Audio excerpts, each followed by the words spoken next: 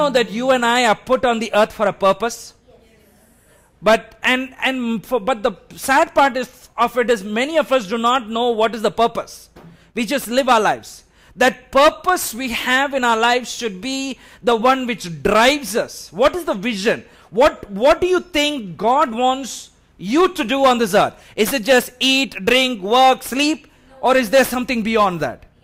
So, and we need to ask ourselves who put us here? Of course, God put us here. If God put us here, then God has, there is a purpose for God to uh, put us here. So we need to really understand that purpose why God has placed us on this earth. So during Feast of Trumpets, we are reaffirming our allegiance to Yeshua HaMashiach. That's what we are doing in Feast of Trumpets. During Feast of Trumpets, we are returning back to the Messiah. Maybe during the year we have done something, but it's a time to return back. During Feast of Trumpets, it's a time to remind us that we are not of our own. It's not about me, it's about Him and His kingdom. And it during Feast of Trumpets, it's a time to remind us that we are bought with a price. Amen. That's why we celebrate.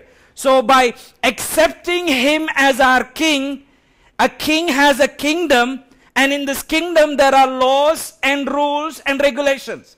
So that's why we learn the Torah to know what. Now I'm part of the kingdom. What should I do?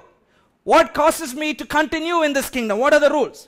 And uh, you know, uh, during the Feast of Trumpets, if you have a shofar, if you don't have a shofar, if you can buy some toy trumpet, or last year I think you you guys had some paper made uh, something. If you have that, you can use it. If you don't have that, but during this time, you will hear the shofar blast.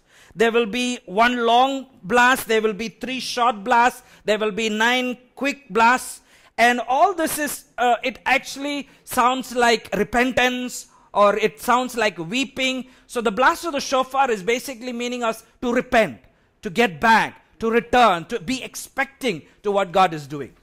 So, with that expectation, uh, that's how we need to re- uh, enter Feast of Trumpets. To know that the king is now physically going to come and visit with each and every one of us. It's like, uh, have you seen a guard, of honor?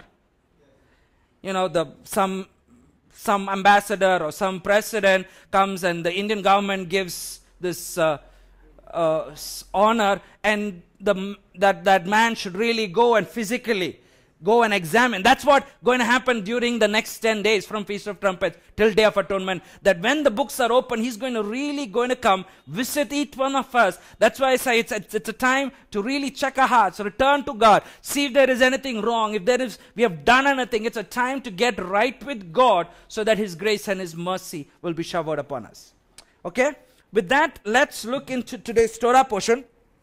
Today's Torah portion is uh, Nitzavim, which basically means you are standing. It is from Deuteronomy chapter 29 and chapter 30. And uh, the Haftarah portion is known also as the, to- Haftarah portion of rejoicing from Isaiah 61 to 63. And uh, there are some amazing things in the book of Acts, chapter 19 and 20 you are standing. Nitzavim. N I T Z A V I M. It means you are standing. Now, over here in this Torah portion, the, the, the word you is not a singular, the word you is a plural. And the word standing, so I mean, I mean, in a Greek mindset, usually it is me and the Lord or my ministry. But in a Hebrew mindset, it's not about my ministry, it's about us as a community. So that's why we say when we think as community, every decision we make as a community doesn't just affect us, but affects the whole community. And when the Bible says that you, the, the word is the word standing, how am I standing? I'm not just standing weakly. I'm not just standing in attention. Or I'm not just standing in standities. I'm standing, the, the word standing over here means I'm standing with power and strength. Or I'm standing my ground. That means as a community, as togetherness, we together are standing in power and we together are taking our ground and we're saying, whatever God says, I want to do. I mean, that's why we, it's very important for us to, to, to transition out of a Greek mindset of me and a solo ministry to a Hebrew mindset. It's all about community. That's why I, we say that every decision we make, we think it's only my decision. It doesn't just affect me, it affects the whole community. That's why when I tell people, when, when, when in, in, in a church, it's not bad that all of us get involved with ministry, but we can't just do all of our ministry on our own. We need to learn to be accountable to the local leadership and do ministry. It's not the local leadership wants to control you. It's just that that's how we learn to grow together as a community. Are you all with me? Now, when you look at the book of Deuteronomy, you need to understand a couple of things. This is the last month of the 40 year wandering, and Moses is about to die. Okay? This is the month of Elul. And now Moses is recapturing to this generation the uh, what the Lord had told them to do. So he's rehearsing to them. So he wants he's he's about to die and uh, he's he wants to make sure the next generation gets what God had commanded them 40 years ago. He doesn't want them to miss that out and it's it's it's it's uh, something like he's he wants the next generation to enter the covenant which God made made with them. So in a way you can see it's it's a national covenant they are about to make, but it's not just a national covenant, it's an individual covenant also. There is no national covenant if individually we don't take a covenant. As a church, we might make a covenant, but the church covenant or a congregation covenant won't work if individually on our own we decide to walk with the Lord. So that's why I said this, this is this these two chapters is it's talking about a personal individual covenant we are making with God. It's talking about a new covenant or or or, or in, in other words, I wouldn't call it a new covenant. It's uh, more as a renewed covenant. Because the Bible doesn't talk about the new covenant. When we talk about New Testament and New Covenant, it doesn't mean that the old is done away. That's what we think in a Greek mindset. But in a Hebrew mindset, it's not. It's not done away. The up, upon the old covenant, another one is put. Each covenant is built on the each other. It's it's it's it's just establishing the other ones. So that's very important. Okay, so let's start uh, with Deuteronomy chapter 29, verses 9 through 15. Now, this is, this is really amazing. You know, last week, for those of you who are here, we said that Miss uh, Jesus has redeemed us from the curse of the law. What is the curse? Has he redeemed us from the curses of the law? No. What is the curse of the law? Death. It's not just physical death, it's spiritual death. It's more spiritual death. Eternal death. So Jesus has redeemed us from that curse. He's not redeemed us from the Torah. He's not redeemed us because of the consequences of obedience and disobedience. That still remains. That's why each of us go through our times of good times and bad times. When we obey, we see the pre- presence of God. Now, now, I don't know if it's a good time to bring it, but I want to say, in the city, we, we're seeing every second or third person falling sick. Falling sick for several reasons. I'm not condemning anybody. But I think if we are people who obey God and live by His covenants, I believe that the plagues of the nation or the plagues of where we live shall not or will not affect us because we have the covering of the Almighty God. Now, it doesn't mean because you fall sick, you are broken. No, no, that's not what I'm trying to say also. So don't read me wrong, don't write me wrong. That's not what I'm trying to say. All I'm saying is, as children of God, if we walk with the covenant, you know what does uh, Psalm 91 say? The tens or thousands fall up, up uh, on my right side and my left side. Nothing will befall me. Why? Because I am under covenant. And as covenant people, we might walk in times which are worse than the times of Egypt. We have to be fully assured, without fear, but in faith, to believe that God is able to deliver us out of all the plagues that are present in this generation, and that will set us apart from the generation we are living to know that the God we serve or the God of the Bible is a true and loving God. So that, that's the key we need to understand. That's why we need to. So, so now what does it say? It says that when we keep the words of this covenant and do them, you shall prosper in all that you do. Then what does it say?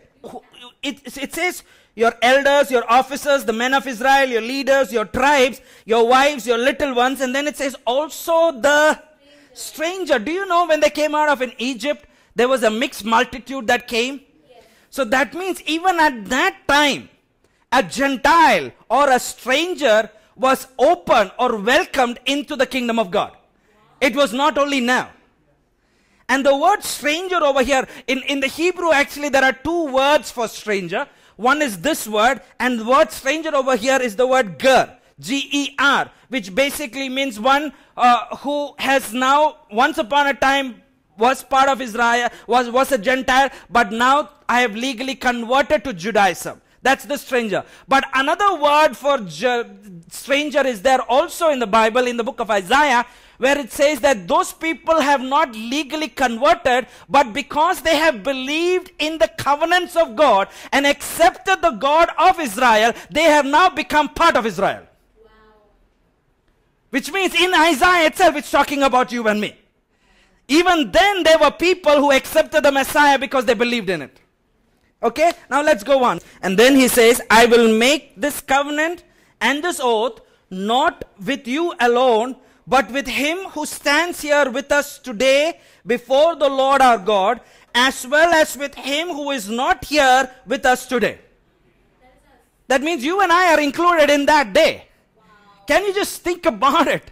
You were there when this new generation was about to enter into the covenant. This covenant is even for us. It's like in John chapter 17, 20 to 21, Jesus is saying, I'm praying even for them that are not here, but who are going to come because they believe. I mean, just think about it. In a way, you, you, none of us were there, but in a way, we can say that we are part of that covenant which God made, or Moses is telling the nation of Israel to the next generation, even to them that has going to believe, I'm going to, this covenant is with you.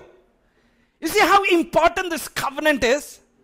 You know, that, that, that, that's why I tell people when you begin to understand that your relationship with God is based on covenant and not based on anything else, it will really revolutionize your life. You need to ask yourself, do you really believe? Somebody was telling me, as we were talking something this morning, saying, do you really believe that you are saved? Or are you still in the place, I'm not too sure. If you really believe you are saved, you know, the words of this commandments are for you. It's not for salvation. It doesn't get you saved, but it is for them that have already believed. Amen. Let's go on. In Deuteronomy chapter 29, verses 16 to 20. It says, For you know that we dwelt in the land of Egypt, and that we came through the nations which you passed by.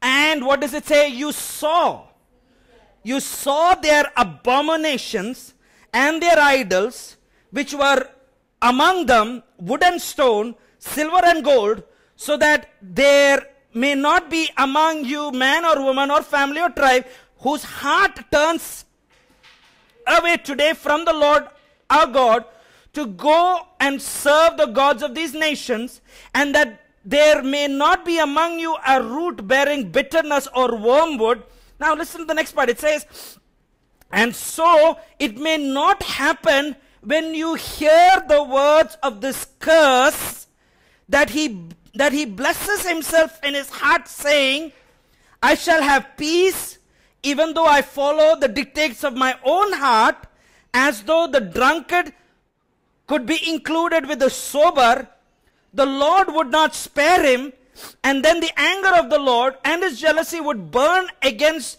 that man, and every curse that is written in this book would settle on him, and the Lord would blot out his name from under seven. Under, under, do you really understand what he's saying? It's saying after you have heard the blessings and curses, and then you said in your heart, you know, it's okay for me to, to do whatever my heart wants me to do. I have the peace to do this mistake because I'm under the grace of God. Or I'm covered under the blood, so it's okay to continue in my sin. What does God's word says? To those kind of people, God is saying, I will not spare you, I- you will not be spared, and the anger of the Lord will kindle against you, and he will put all the you know plagues which were there on the nations upon you. Now just think about it. The Bible says the abominations. Once upon a time it was an abomination to them, but later this abomination became something that it was okay to worship. You know, like, uh, do you know uh, which year was the word, the cuss words used first time in English movies? It was the year 1939. In the year 1939, the first movie was with the cuss word in it. And not only the church was shocked, even the world around who used to watch English movies was shocked by the words they used. But now, later on, after 60 years or 70 years, look at us. It's a cool thing to use cuss words. But, but, but for, for us, it's okay. Now just think, the standard of the church has gone so much down than the standard of the world today. It's okay for us.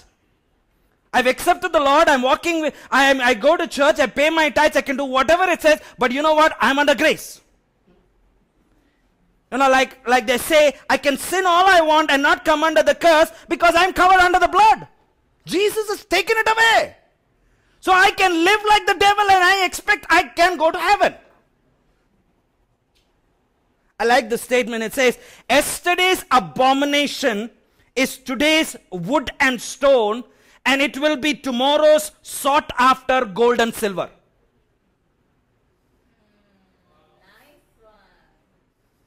What do you think? Once upon a time, some of these things, it was an abomination. Today it's okay, but the next generation, if we don't keep our standards right, next generation, it's gold, it's silver, it's so precious, we need to have it. And we think it's okay. And then we say, it's the grace of God. It's and we are under the blood. It's so it's it's a bad plan to willfully sin with the expectation that you can always repent later. How many of us do that? I'll just come, I'll just continue sinning because it's okay because tomorrow I can repent and God will forgive. Be careful.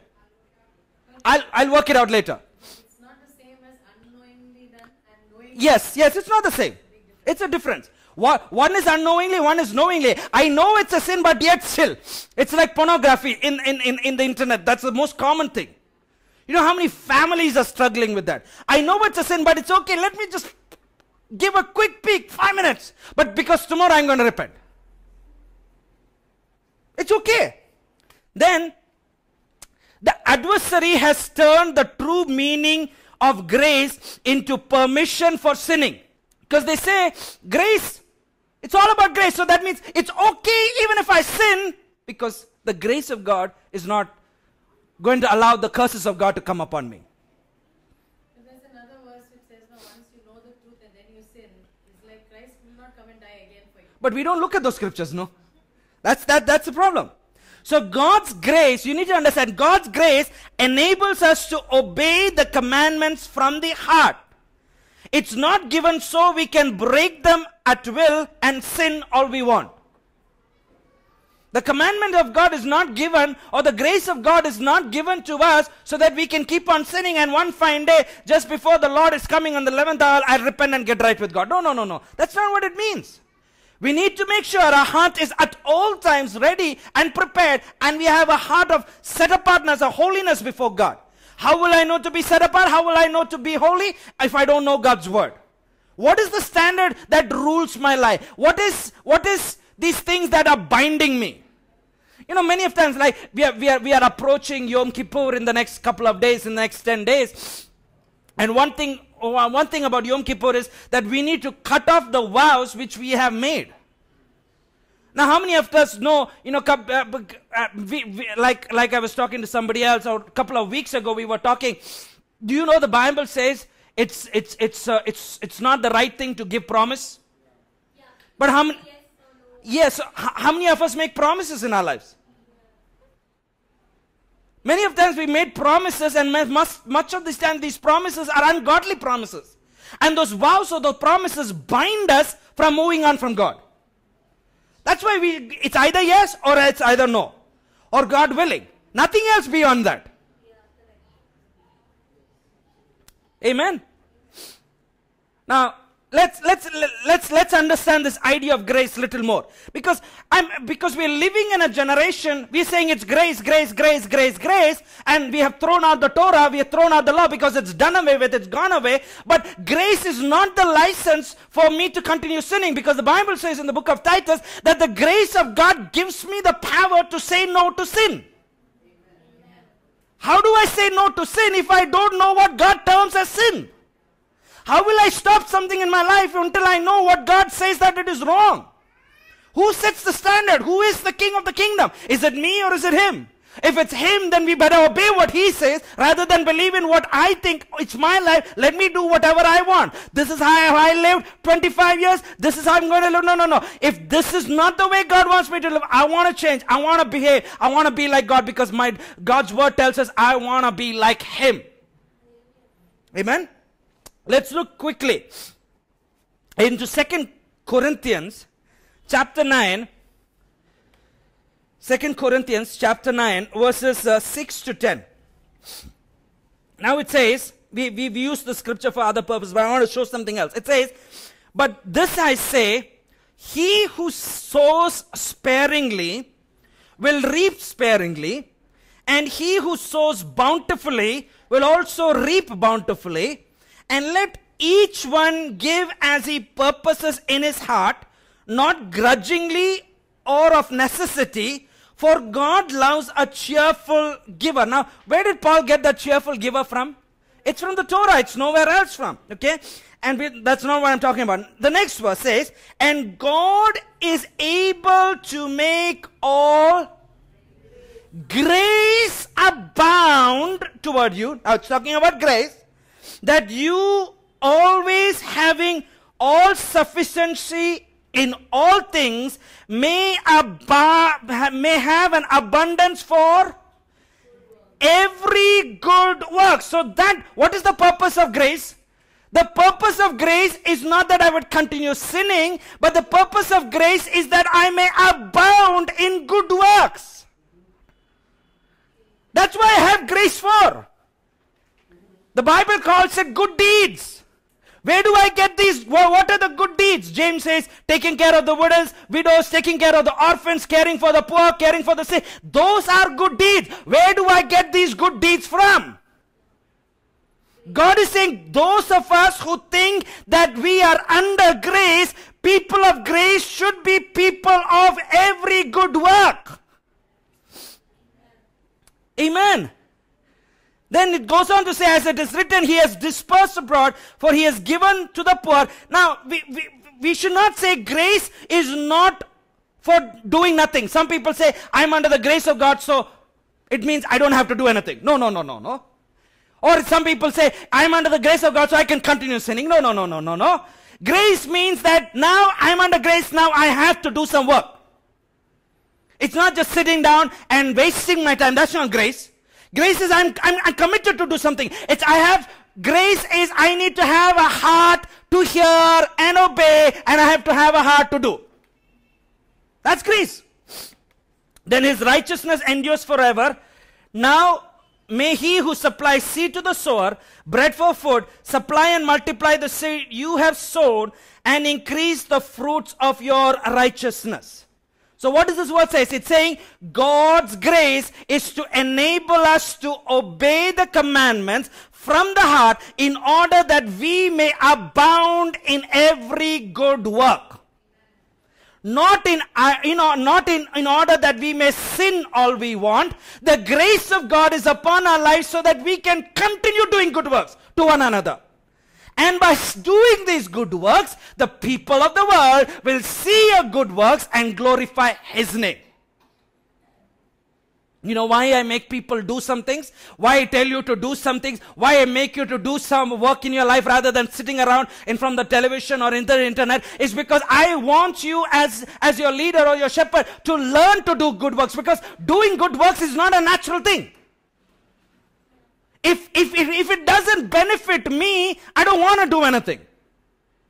But good works is even if it doesn't benefit me, even if I have nothing to gain out of it, I'm going to do it because that's what the Torah commands me to do. Amen. Now let's go on. Deuteronomy chapter 29.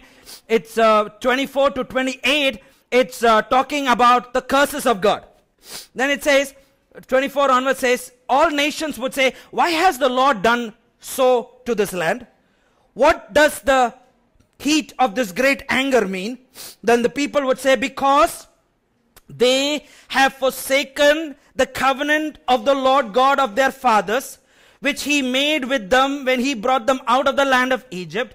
For they went and served other gods, worshipped them, gods whom they knew not, whom he had not given unto them. And the anger of the Lord was kindled against this land to bring upon it all the curse that was written in this book. And the Lord rooted them out of their land in anger and in wrath and in great indignation and cast them into another land as it is to, to this day. Even today it's the same. The curses, why, why, why, why, why did God give us, the, put the curses? It was, the curses was not that we would perish. The curses were that so that we would, we would recognize our mistake and we would repent and return. And the minute we return and repent, that curses is taken away and we fall under the blessings of God. That's what the Bible says. Now, all of us believe that God gave Israel the Torah. Yes? Now, we also believe that Moses had warned them of the curses if they break the Torah. Yes? And so Israel entered a covenant and a promise to keep the Torah. Yes? Now, let's see. Think uh, for Moses is around 1500 BC. That's when the covenant was given. And when was the destruction of the first temple? 586 BC. What was the destruction of the second temple? 70 AD. So there, this God again and again for thousands of generations send prophets, send people telling the people to return to the Torah, return to the Torah, repent and return to the Torah. But did they listen to him? They did not listen to him. So why did God uh, throw, uh, destroy the temple? He destroyed the temple because they were not willing to keep his Torah. It's like if I have a rebellious son at home, I'm, I'm, he's so rebellious, so I just throw him out, and I'm, I'm not just satisfied by throwing him out. Now, you know what? I want to burn the house which I'm living in because he's so rebellious. Basically, trying to tell the son, you know what? I'm really angry. That's what God did. Is it that is why because he's not coming till we then only when he keep the Torah he come and Absolutely. That, that's why it's very vital for us to understand the nation of Israel is not just enough for them to return to the land, it's important for them to return to the Torah.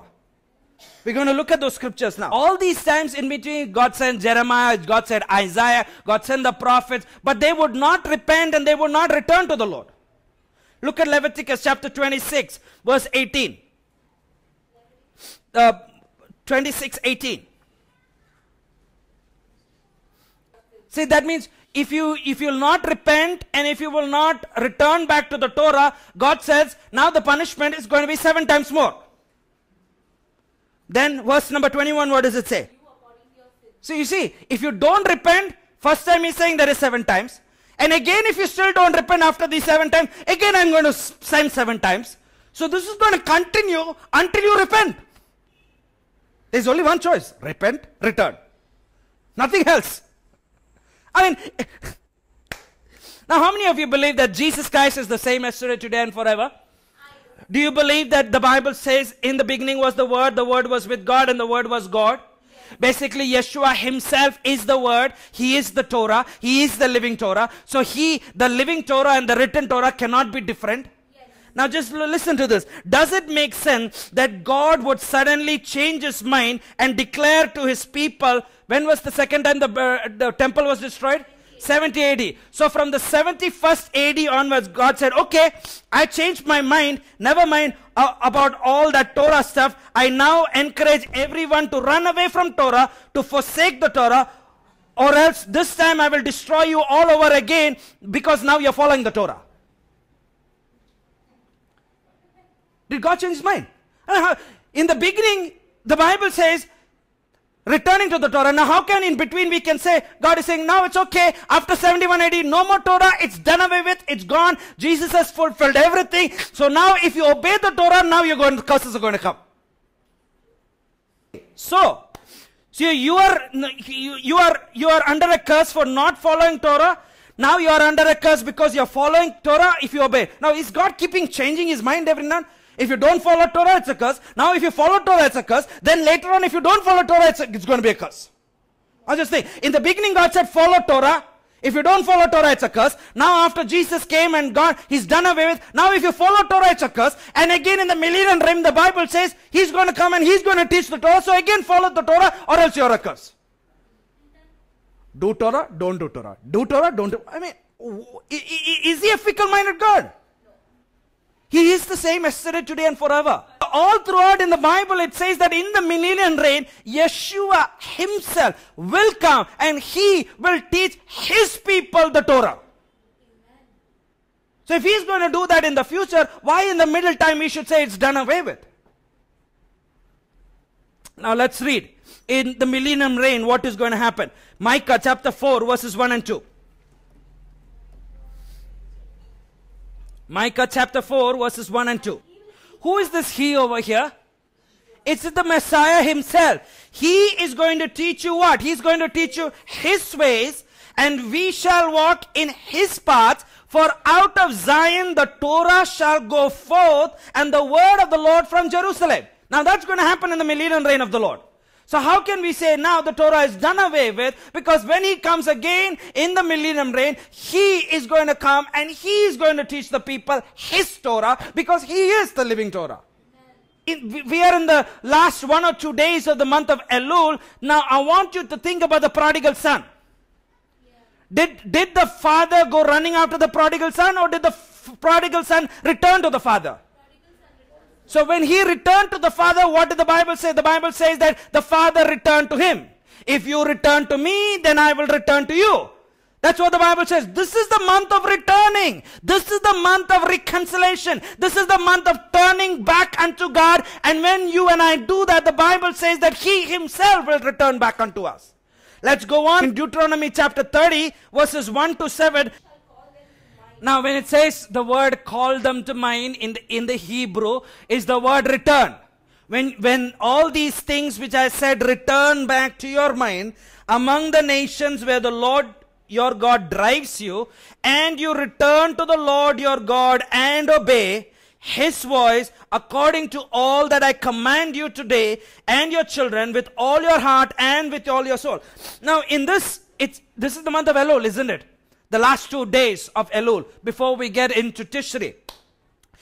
Elul is a month of returning. Now, in this scriptures over here, we see there's a lot of returning. First, it says there should be a return of the heart or the mind to history. What do I what what what do I return to? I need to remember that back in time with Moses. What happened with Moses? I need to first remember that. Then it says, I need to, once I remember that time with Moses, I need to return to the Lord. Number two. Number three, not only should I return to the Lord, now I should also return to obeying His voice and doing His commandments.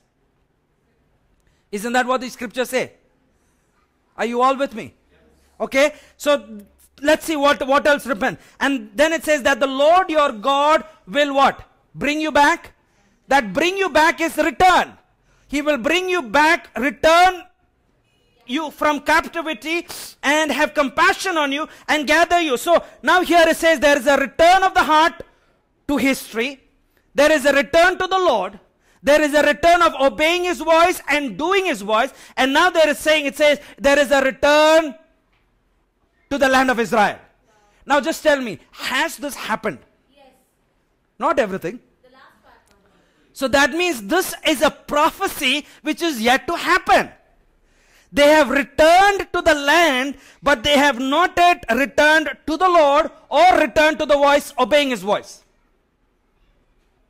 But the Bible says it's going to happen. In the near future, it's going to happen. Then what does it say? I'll gather you again from all the nations where, the Lord your God has scattered you. If any of you were driven out of the fathers under the heaven, from there the Lord will gather you.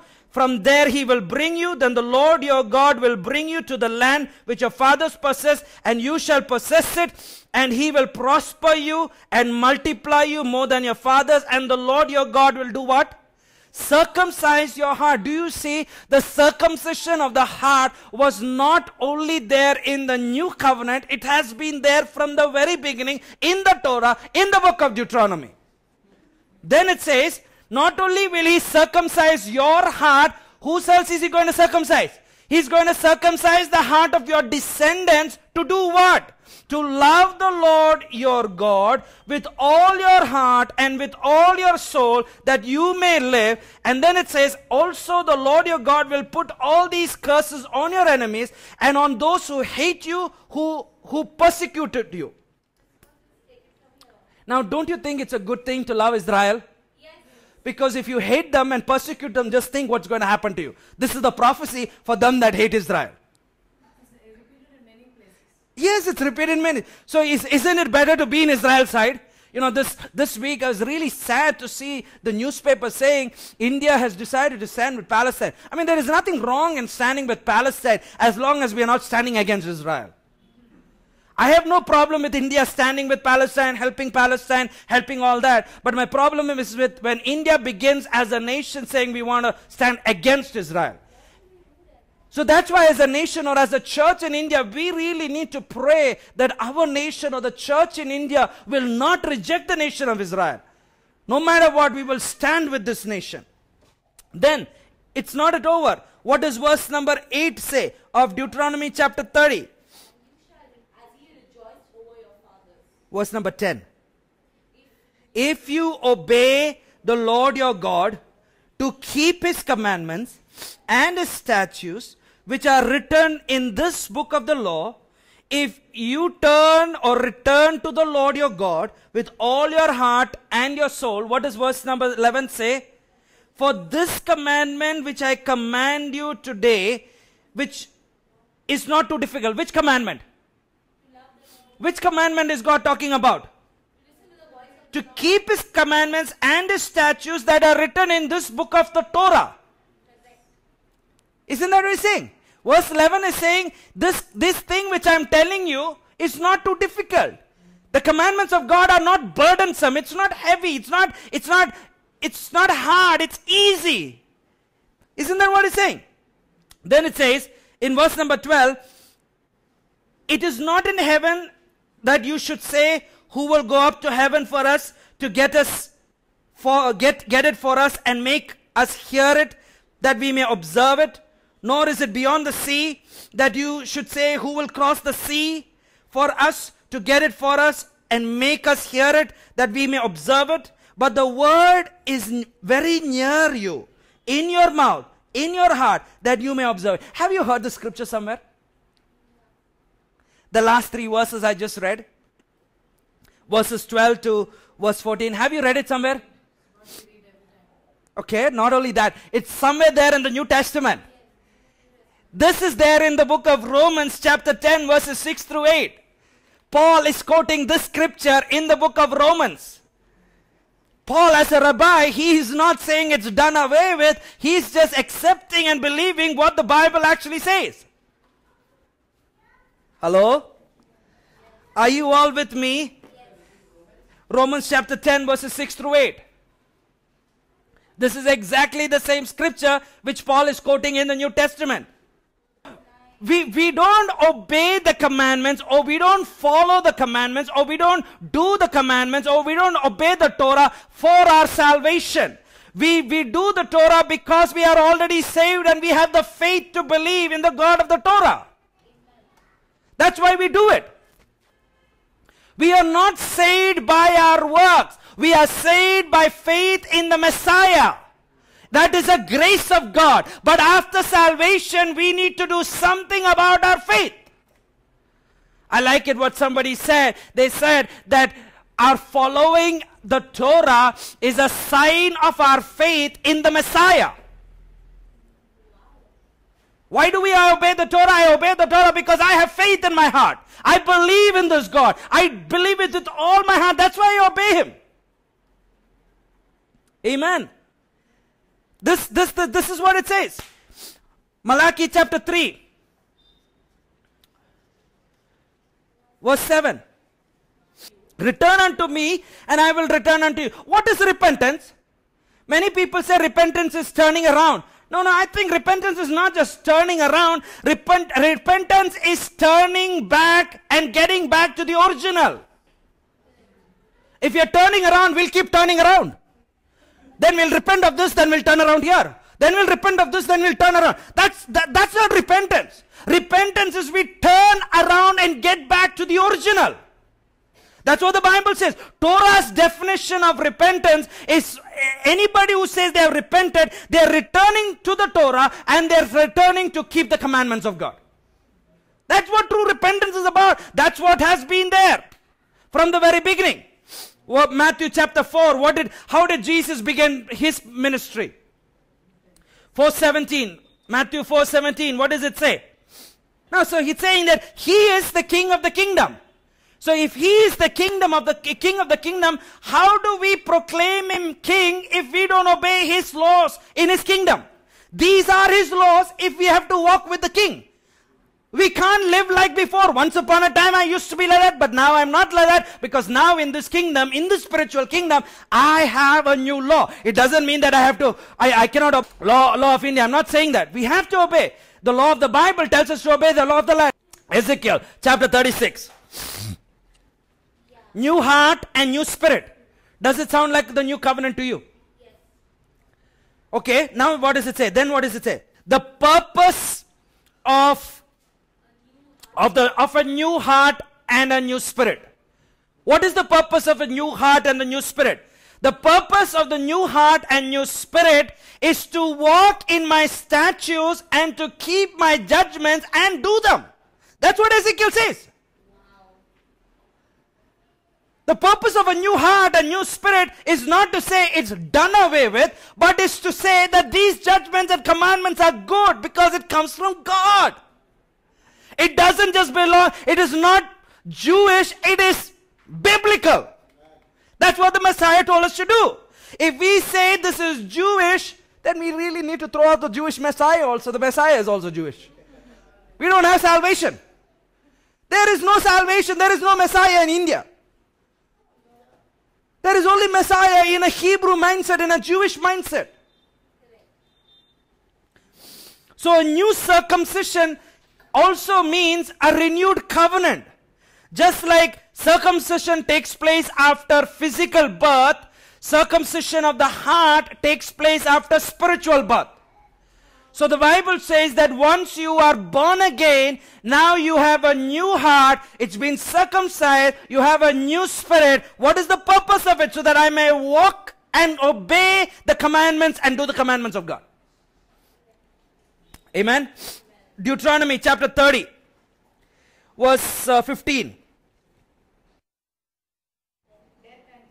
I've said said before you life and life and good, death and evil. Verse number 19, what does it say? I call upon heaven and earth to record this day against you that I have set before you life and death, blessing and curse. Therefore choose life then that both you and your seed may live. Amen. In other words, God is saying in every situation, there is a situation of life and death. In everything you do, even till today, there is a situation of life and death.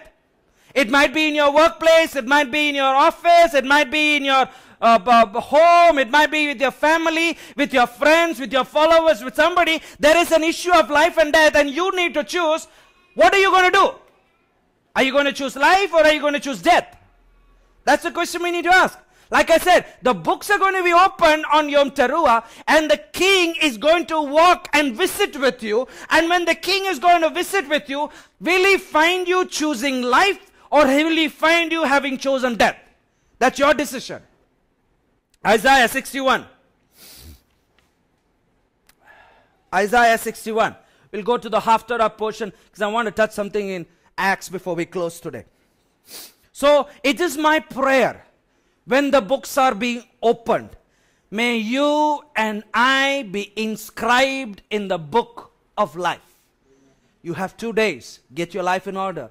If you have anything to repent, get it right because this is the time, this is the opportunity in our in our uh, new age, in our in our in our world today. This is the word we use. This is an, is this is a door of the portal opening. Like if you say in Harry Potter's terms, the portal is opening, it's an open heavens, there is something going to happen in the heavenlies from, from Yom Teruah onwards, and before that, it's a good time for you to get your connection back. You remember, if you see Back to the Future, I think one or two, when that connection which, which, which was there, so the professor tries to get the connection back so that this guy will go back into the future. Let's get that connection back so that for the next year we'll have a great year ahead. Okay? Isaiah 61 verses 8 and 9 says, For I, the Lord, love judgment. I hate robbery for burnt offerings. Can you just think about that? People give burnt offerings, but it is, it, it is something that you have robbed. It's not yours. It's stolen. God saying, I don't want stolen property. You can keep it to yourself. Then it says, I will direct their work in truth. You know, that's why I say, for God, it is based on truth. That's why I say in every relationship, it should be based on truth. You know, many people, we don't want to fix our relationship because we think the other person will feel bad or I'll get hurt. No, no, no. Relationship should always be fixed based on truth. And you can only fix that by talking and finishing it off. But you know, in, in our Indian culture, we like to put it under the carpet and just go as if nothing happened. But that's not what the Bible says. The Bible says we need to take it out, talk about it, fix it, deal with it, throw it out, and agree to disagree. Agree to disagree. In India, we don't do that. We agree not to agree, and we agree not to be friends also. That's what in India we do. But my question, let's let's say, okay, you, you don't believe what I believe, it's okay. Like, like you, you can't go and ask an evangelical church, why don't you speak in tongues? Hello? They don't speak in tongues. They don't believe it. It's okay. So can we, as Pentecostals, say it's okay, you don't speak in tongues, but we still love the same God? Don't speak in tongues, it's okay. I have no problem. I'm not going to force my doctrine to you. You don't have to force it to me. All we can let's let's agree. Let's be friends. Let's let's be part of the same kingdom. Okay. Then what does it say? I will make an everlasting covenant with them. Their seed shall be known among the Gentiles, and their offsprings among the people. All that see them shall acknowledge them that they are the seed which the Lord has blessed. Who is, who is that scripture talking about? It's talking about Israel. Has that happened yet? Not yet, but it will happen in the future. It's about to happen. It will happen in the future. Okay, Isaiah 61 verses 10, what does it say? It's, it's something that is prophetically going to happen. What does it say? He has clothed me with the garments of salvation. What's the Hebrew word for salvation? Yeshua. So who has clothed me with the garments of salvation? He has clothed me. So we need to understand it's not our righteousness which takes us to God, it is His righteousness which takes us before God. So, and then what says, He has clothed me with the garments of Yeshua. He has covered me with the robe of righteousness, as a bridegroom decketh himself with ornaments, as a bride adorns herself with. So it is the Lord who is preparing His bride. He will do the work. We just need to believe and have the faith to walk along with the Father. Amen. Isaiah 62 verses 1 and 2, what does it say? For Zion's sake, I will not hold my peace. For Jerusalem's sake, I will not rest until the righteousness thereof go forth as brightness. And what does it say? Salvation or Yeshua thereof as a lamp that burns. And then what does it say? The Gentiles shall see your righteousness and all the kings and all, and, and that shall be called by a new name which the mouth of the Lord shall name. Now, wha- what does it say? It's saying basically that Israel is going to get a, get a new name. And in the book of Revelation, it says that you and I are also going to get a new name. You see how it's all connected. So, so God will not rest until his enemies are destroyed, is what the scripture says. Okay? Isaiah chapter 62, verses 6 and 7. What does it say? I have set watchmen. Many people say we are watchmen, watchmen. So what does the Bible say about watchmen? Watchmen upon the walls. O Jerusalem, which shall never hold thy peace day or night. You shall make mention of the Lord. Keep not silence. Give him no rest till he established until he makes Jerusalem a praise on the earth. Has that happened yet? So if that has not happened as watchmen who are watching on the wall, God is saying, keep on praying, keep on praying, keep on seeking, keep on praying that God would bless Jerusalem until he blesses them. Don't give up, don't give up, don't give up, because this is not the time to give up. Amen. For London to get ready for this year's Olympics, can you think of the preparation they would have taken for years together? Now, this next scripture in Isaiah 62 is talking about that kind of preparation. Isaiah 62, 10 and 12. 10 to 12. It says, Go through, go through the gates, prepare the way for the people, build up, build up the highways, take out the stones, lift up a banner for the peoples. Indeed, the Lord has proclaimed to the end of the world, say to the daughter of Zion, surely your salvation is coming. Behold, his reward is with him and his work is with him. Now it says your salvation is coming and the next part of the word says his reward. If salvation is a thing, the Bible would have written its reward. Now, since salvation is not a thing, but if salvation is a person, and the word for salvation in Hebrew is Yeshua, naturally, Yeshua is coming, and when he comes, he will bring his reward and his work before him. So, salvation comes in the name of Yeshua. And it says that when Yeshua comes, he will bring his reward. So your salvation is an individual with a name. And his reward is with you. What is he going to reward you and me? He's going to reward you and me based on what I do on the earth. How much I have obeyed his word. How much I have lived by his word. How much I have done his word in my life. So Jerusalem will be transformed from an abandoned city to a much sought after city in the days to come. You know, in the book of Revelation, the Bible says, Jesus saying, I will come and with me is my reward. You see, whatever is there in the Old Testament is also there in the New Testament. So He has the reward. He is our salvation. Yeshua is our salvation and He will bring His reward along with Him. Amen. Finally, as we plan to conclude, Acts chapter 19 and 20, we're going to look quickly into this. Acts chapter 19 onwards, we'll start. 19 verse 24 to 28. By reading the scripture, do you think they really cared about Diana? No. What did they care about? They were concerned about their trade.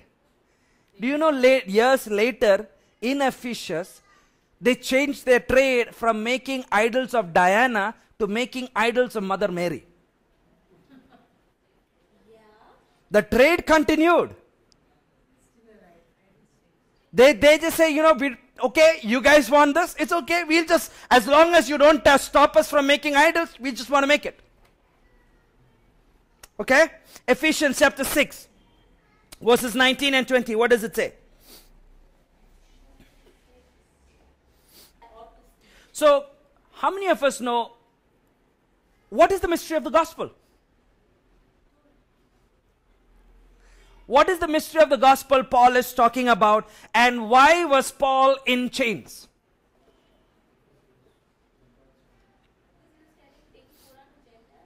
Okay, let's find out. Let's start from Acts chapter 20 and see what is the mystery of the gospel. I'm going to read, so go along with me quickly. Uh, Acts chapter 20, verse 16, and then I'll jump on to 22 and 23. It says, For Paul had determined to sail to Ephesus because he had not spent the time in Asia, for he hasted if it were possible for him to be at Jerusalem at the day of Pentecost. What? Paul kept feast. Yeah, he. He kept he kept the feast of Pentecost. Okay, and then it says, uh, "And now behold, I go bound in the Spirit unto Jerusalem, not knowing the things that shall befall me there, save the Holy Spirit witness in every city, saying that bonds, bonds and afflictions await me." Chapter 20, 28 to 31. It says, Take heed therefore unto yourself and all unto all the flock over which the Holy Ghost has made you overseers and fleece the church of God. Does it say that? It's not fleece the church of God, it's feed the church of God, which he has purchased with his own blood. For I know this, that after my departing shall grievous wolves enter in among you, not sparing the flock. Also of your own selves shall men arise, speaking perverse things to draw away disciples after them. Therefore watch and remember that by the space of three years I have ceased not to warn every night and day with tears. So this is what really happened after Paul departed. Grievous wolves really came and destroyed the church or the body of Christ. Okay? Acts chapter 21 verses 19 and 20. Now, uh, Paul is now speaking to Peter and James and to the elders of the church. And this is what he said. And when he saluted them, he rehearsed one by one the things which God had brought among the Gentiles through his ministry. And they, when they heard it, glorified God. And they said unto him, Thou seest, brother, how many? It's not thousands, it's tens of thousands. Is there any other word used in your Bible? There's, in some Bibles, there's another word actually used. It's actually tens of thousands. There were among the Jews of them that have believed, and they are all zealous for the. You see, many Jews believed in the Messiah and the Torah. Not all Jews rejected it. It says tens of thousands of Jews during Paul's time received the Messiah and believed in the Torah. Amen. Acts 21 27 to 34.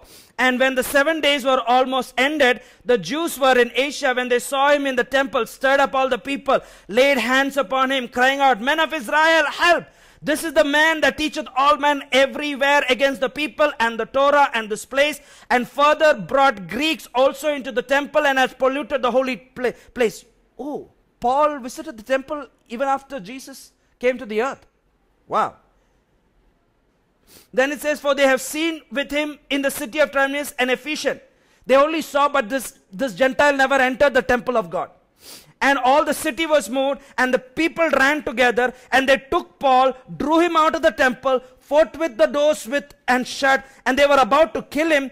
Tidings. Now, you need to remember, you remember some picture of the temple which I showed you some time back. Next to the temple was also a place where the Roman centurions had an army battalion placed, placed over there just to see what was happening in the temple and if there was any problem. So when they brought him out of the temple and were about to kill him, there was the chief who brought the soldiers there. That's what's happening. Who, who immediately took soldiers and centurions, ran down unto them, and when they saw the chief captain and the soldiers, they left beating of Paul. Then the chief captain came near, took him, and co- commanded him to be bound with two chains, and demanded who he was and what he has done. And some cried one thing, some others among the multitude. And when he could not when he could not know the certainty of for the tongue, he commanded him to be carried into the fortress. So now they're taking him into the fortress in uh, chapter 21, 35 onwards to chapter 22, verse 2. Let's see what happened. And when he came upon the stairs, so that he was born of the soldiers, for born of the soldiers for the violence of the people, for the multitude of the people followed him, crying, away with him. And as Paul was to be led into the castle, he said unto the chief captain, May I speak to you? And who said, Why can't you speak in Greek? Now you need to remember, during that time, Paul spoke in different languages like we speak in different languages today. Okay? So he spoke Greek also. Thou art, art thou the Egyptian, which before these days made an uproar and leadest the people into wilderness, 4,000 men that were murderers.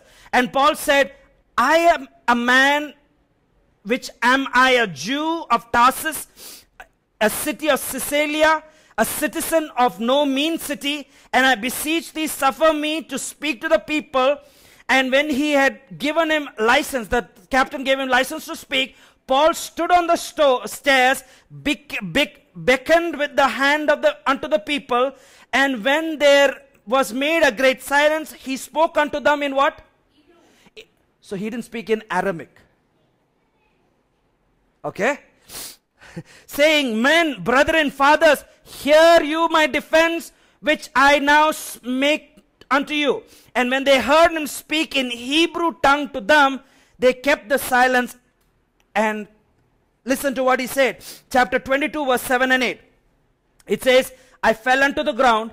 I heard a voice saying unto me, Saul, Saul, why persecutest me? And I answered, Who art you, Lord? And he said unto me, I am Jesus of Nazareth, or Yeshua ha Nazarene, who you persecutest. Now, when they heard that, were there any cries of blasphemy among the people?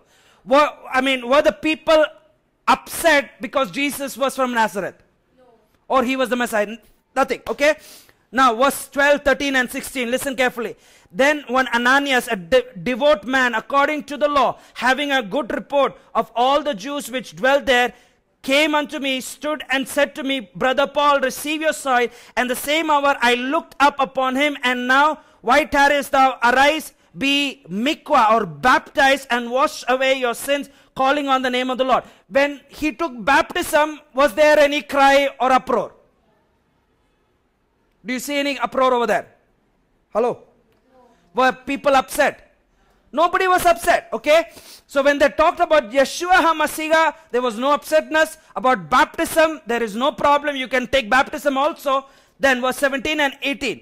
And it came to pass that when I came again to Jerusalem while I was while I prayed in the temple. So even after accepting Jesus as his Messiah, he still went to the temple, he still offered sacrifice, and he still worshiped God.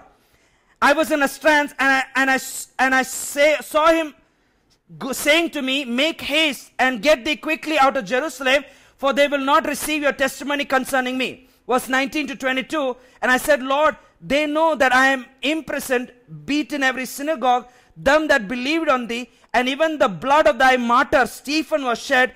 I was also standing by and consenting unto his death, and kept the rem- remnant of them that slew, slew him. And he said unto me, Depart, for I will send you from hence unto unto Gentiles. What does the next verse say?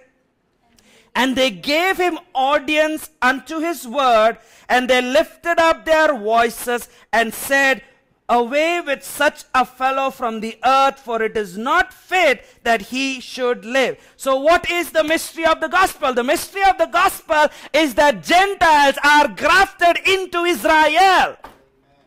And because of this, Paul was an ambassador of Messiah, and because of this, he was in bonds. Because he took the gospel to the Gentiles.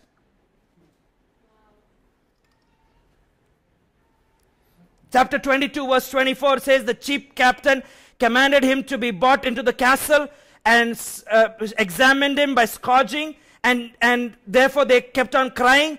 Chapter 24, 26, and 27 says, We hoped also that money should have been given him of Paul, that he might loose him, whereof he, he sent for him the offner and communed with him. But after two years, he came to Felix's room. Felix, willing to show the Jews a pleasure, left Paul bound. So basically, he was several years in prison. He was several years a prisoner. He was a, he was a bond slave of the Lord. Why? Because he took the gospel to the Gentiles. Paul's arrest wasn't a result of preaching the death and resurrection of Yeshua. The mystery of the gospel preached, Paul preached, for which he was in chains, was Gentile inclusion, without conversion into Judaism. That's what Paul preached, and that is the mystery of the gospel, and that is why he was in chains. You know why they they didn't believe, they didn't they didn't want to include Gentiles because in Numbers it says, Numbers 18:7 says, Therefore you and your sons with you shall keep your priest's office for everything of the altar and within the veil, and you shall serve. And I, I have given your priest's office unto you as a service of gift, and the stranger that comes nigh unto you shall be put to death. That is why they wanted to kill Paul. But do you know what Ephesians says? Chapter 2, verse 14 says, He is our peace. He has made both one and has broken down the dividing or the middle wall of partition between us. You know, during those days in the temple, there was literally a wall which was written in Greek and other languages saying any Gentile was not allowed or permitted into the temple. That, that is how it was. But in Ephesians it says Christ has broken that dividing wall that separates Jews and Gentiles. And together in Him, Jew and Gentile have become one, and we become what the Bible says is one new man. Amen. The Jews know the Torah, but they need to believe in the Messiah. We know the Messiah, but we need to believe in the Torah. When we both come together, it is not Jew or Christian. We are together in one family, under one God, under the Messiah, called the one new man. So the mystery of the gospel is Gentiles are grafted in without converting into Judaism. Aren't you grateful for that? Yes. I learned that and I said, wow, I don't have to be a Jew. So to everybody who condemns, are you becoming Jewish? No. I can't become Jewish. I don't have to become Jewish because Jesus has done it for me. He has engrafted me into the vine. Amen. Let's pray. Father, we want to thank you for this day. We thank you for your word. It's such power, Lord. You, O Lord, have broken the dividing wall between Jew and Gentile, O Father.